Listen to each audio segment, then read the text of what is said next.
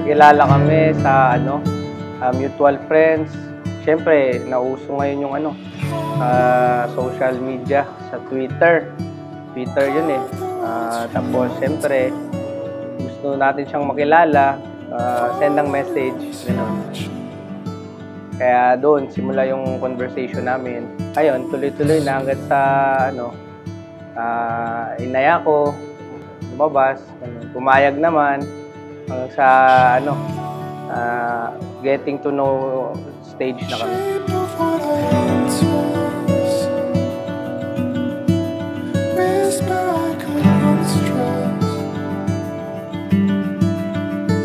So, doon na, nag-start kami, usap-usap, ganun, hanggang sa siguro mag-sobra two weeks na usap namin is doon na kami nagkita.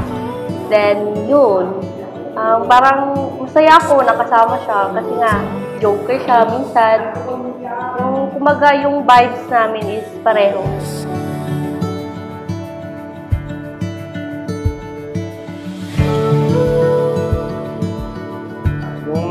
ugali naman na gusto ko kay Sandra is ano, talagang hardworking siya. Tapos, uh, para bang same kami na kapag may gusto kami, ba may gusto siya or gusto siyang makamit, talagang ginastand niya na ano, makuha niya talaga.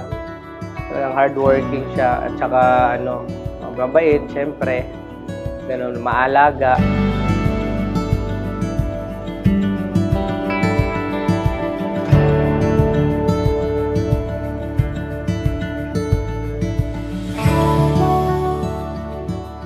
Mahal na mahal kita, alam mo yan. And thank you so much kasi um, sobrang ma ang sobrang ang haba ng pasensya mo sa akin. Kahit uh, minsan mabebe, minsan galit ako parati sa'yo. Thank you so much, babe, na kahit pa paano is, kahit, kahit anong dumaan sa atin is, andyan ka pa rin. Babe, uh, ito na, yung, yung inshallah natin na uh, turns into alhamdulillah na. So, uh, pinapromise ko, or hindi man pinapromise na siyempre magiging mabuting asawa ko sa'yo, uh, magiging anak natin, soon, inshallah. At uh, gagambanan ko yung pagiging ano, uh, isang mabuting ama, uh, asawa sa'yo, tsaka siyempre sa family mo. Ganon. Yun lang. I love you so much, babe. Masaya, masaya!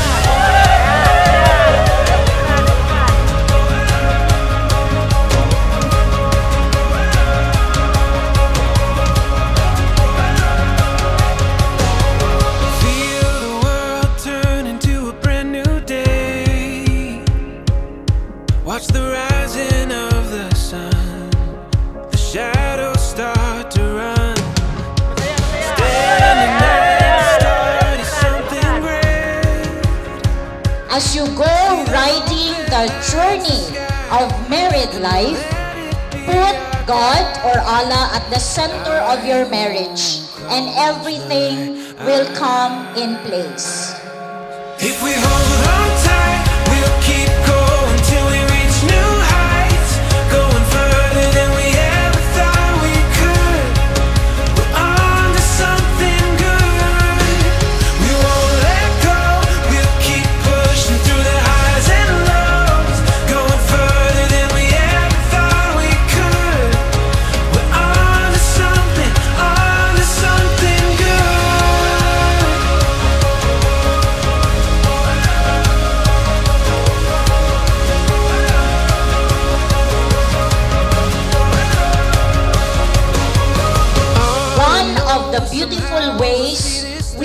worship Allah is through marriage.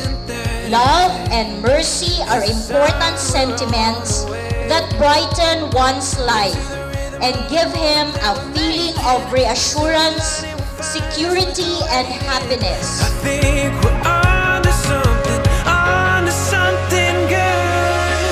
We hold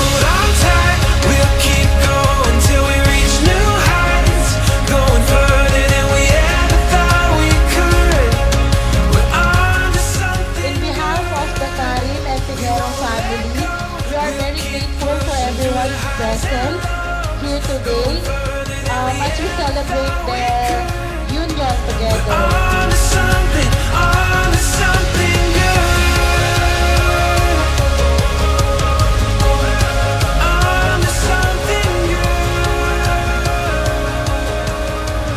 Today, we celebrate not only the joining of two hearts, but also merging of two beautiful families as we share in the jubilation of this moment, let us now remember that love knows no religion, no race, and no prejudice. It is all encompassing force that binds our hearts together in this celebration.